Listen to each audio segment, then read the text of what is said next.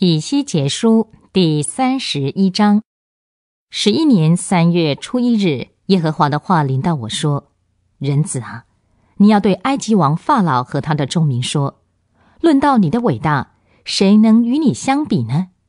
看哪，亚树曾是黎巴嫩的香柏树，枝条秀美，林影茂密，树身高大，树顶在茂密的枝叶之上，众水使它长大。”深渊使它长高，有江河从深渊流出，环绕它栽种之地；又有支流引到田间的种树，因此它树身高大，高过田间的种树。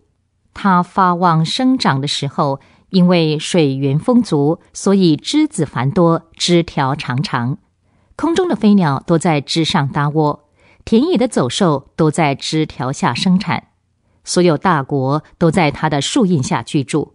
它树身高大，枝条长长而显得秀美，因为它的根扎在水多的地方。神园中的香柏树不能与它相比，松树比不上它的枝子，枫树也不及它的枝条。神园中所有的树木都比不上它的秀美。我使它因枝条繁多而显得秀美，以致在神的园中。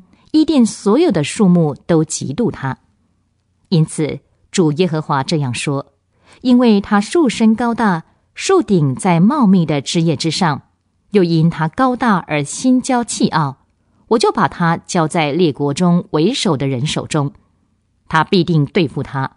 因着他的罪恶，我就把他驱逐出去。必有外族人，就是列国中最强暴的，把他砍下丢弃。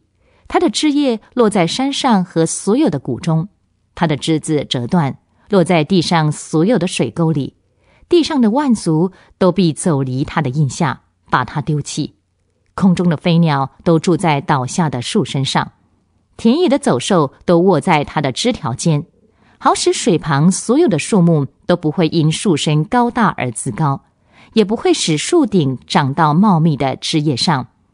又使一切有水滋润的树都不会高傲的屹立，因为他们在世人中与那些下到阴府的人一起，都交于死亡，交于地的深处了。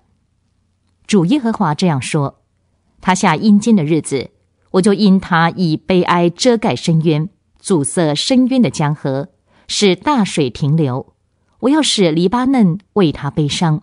田野所有的树木都因它枯干，我把它扔下阴间，与那些下到阴府的人一起的时候，我就使列国因它坠落的响声而震惊。伊甸所有的树木，就是黎巴嫩有水滋润、最佳最美的树，都在地的深处得到安慰。这些树与他一同下到阴间，往那些被刀剑所杀的人那里去。